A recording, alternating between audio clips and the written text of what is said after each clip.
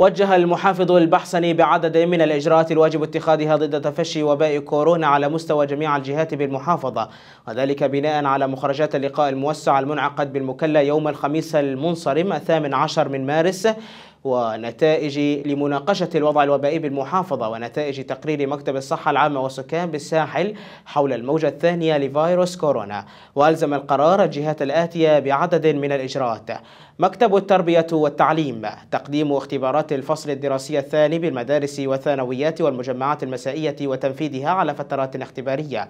والالتزام بالإجراءات الاحترازية من لبس الكمامة والتباعد الاجتماعي لدى منتسبي القطاع التعليمي والتباعد بين الطلاب في الصفوف واستغلال جميع القنوات التعليمية بالتوعية والتثقيف بالوباء.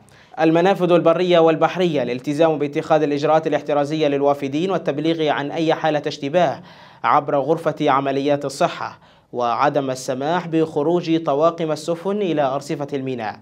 مكتب وزارة الأوقاف والإرشاد توجيه الخطباء والأئمة بالتوعية الصحية وإرشاد الناس بأهمية الإجراءات الاحترازية.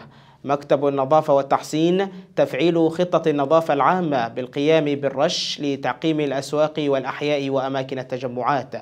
مكتب خفر السواحل وهيئة المصائد بث الرسائل الصحية للمواطنين عبر قنوات الإعلام ومواقع التواصل الاجتماعي بمصادرها الصحيحة وبناء على توجيهات وقرارات اللجنة العليا بما يتعلق بالوباء.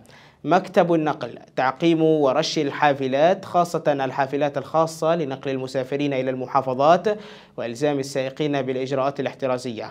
مكتب شركة النفط المشاركة في تنفيذ خطة المكتب لمواجهة الموجة الثانية من جائحة كورونا ودعم غرفة العمليات بمكتب الصحة بمحروقات حركة سيارات الإسعاف لنقل الحالات الحرجة. مكتب وزارة النفط. إلزام الشركات العاملة بمجال التنقيب في كل المديريات بإشعار مكاتب مدراء الصحة والسلطات المحلية عند ثبوت أي حالة إيجابية وإحالتها إلى مركز العزل.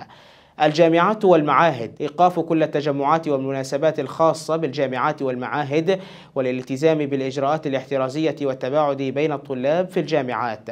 الخدمة المدنية إلزام المكاتب الحكومية والخاصة بالتزام الإجراءات الاحترازية وتقليص الكادر الوظيفي في المرافق الحكومية. مكتب الأشغال العامة والطرق تنفيذ حملات شاملة على المطاعم وصوالين الحلاقة فيما يخص الإجراءات الاحترازية الفحص الدوري للعمالة المحلية والأجنبية. الأمن والشرطة تنفيذ قرارات اللجنة العليا للطوارئ على أرض الواقع وتعزيز دور التوجيه المعنوي بما يخص الإجراءات الاحترازية. مكتب التجارة والصناعة إلزام ملاك المحال التجارية وخاصة المولات وأماكن الازدحام باتخاذ الإجراءات الاحترازية.